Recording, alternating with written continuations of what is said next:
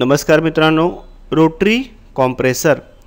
Rotary compressor is that compressor which compressed the refrigerant by the rotary motion म्हणजेच rotary कॉम्प्रेसरमध्ये rotary मोशनचा वापर करून रेफ्रिजरंट कॉम्प्रेस केला जातो.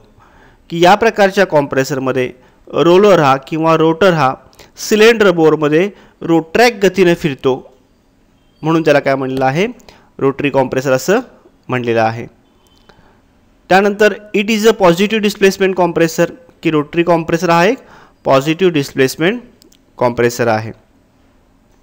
त्यानंतर in a rotary compressor clearance is very negligible therefore they have high volumetric efficiency की rotary कॉम्प्रेसरमध्ये कोणत्याही प्रकारच्या गॅस्केट पॅकिंगचा वापर न केल्यामुळं त्या ठिकाणी क्लिअरन्स व्हॉल्यूम जो आहे तो एकदम कमीत कमी असतो.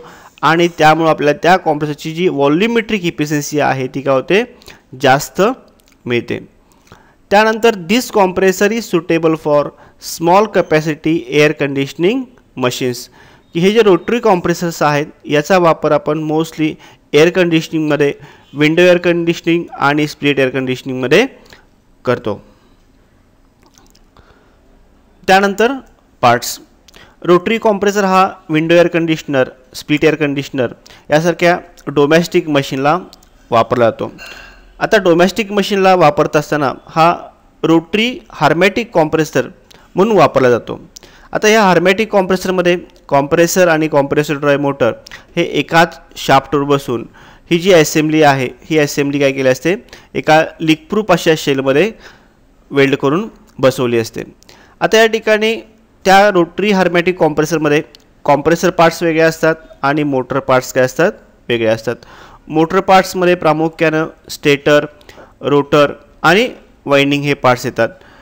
तर कॉम्प्रेसर पार्ट्समध्ये सिलेंडर रोलर किंवा रोटर शाफ्ट डिवायडिंग स्प्रिंग आणि डिवायडिंग ब्लेडचा वापर होतो.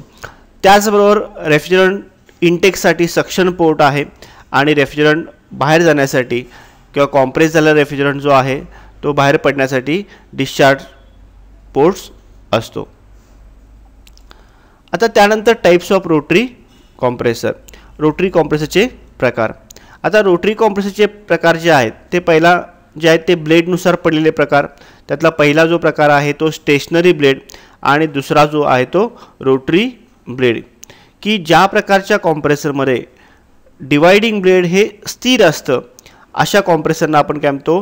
स्टेशनरी ब्लेड रोटरी कॉम्प्रेसर असं म्हणतो. आणि दुसरा जो प्रकार आहे रोटरी ब्लेड की या प्रकारच्या कॉम्प्रेसरमध्ये जे डिवायडिंग ब्लेड आहे ते रोट्रॅक गतीने फिरतं म्हणून त्याला काय म्हणतात? रोटरी ब्लेड रोटरी कॉम्प्रेसर असं म्हणतात. त्यानंतर स्टेजवरनं पडलेले प्रकार सिंगल स्टेज की या प्रकारामध्ये की रेफ्रिजरंट सक्शन झालेला जो रेफ्रिजरंट आहे तो कॉम्प्रेस होतो आणि डिस्चार्ज होऊन तो कंडेन्सरला जातो. टू स्टेजमध्ये तो जो रेफ्रिजरंट आहे तो एकापेक्षा जास्त वेळा काय होतो? कॉम्प्रेस होतो. मग ह्या ठिकाणी काही वेळा स्टेजेस ज्या आहेत त्या सिरीजमध्ये असतात तर काही ठिकाणी स्टेजेस ह्या पॅरलमध्ये असतात. त्यानंतर कॉम्प्रेसर वर्किंग टेक्नॉलॉजी. यामध्ये पहिला जो प्रकार आहे तो नॉन इन्व्हर्टर कॉम्प्रेसर आणि दुसरा जो प्रकार आहे तो inverter compressor non inverter compressor जो आहे तो एक कॉन्स्टंट आर पी एमनं फिरतो. की त्या ठिकाणी जे त्याचे आर पी एम असतात ते स्थिर असतात.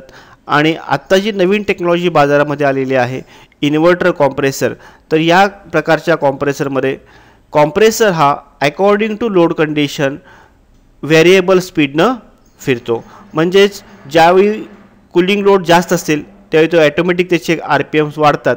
आणि जसा कुलिंग लोड कमी येईल तसे ॲटोमॅटिकली आर पी एम काय होतात त्याचे कमी येतात. म्हणजे हा इन्व्हर्टर कॉम्प्रेसर जो आहे तो फिक्स आर पी एमनं फिरत नाही. त्याचे जे आर पी एम आहेत ते डिपेंड अपॉन लोड कंडिशनवर असतात.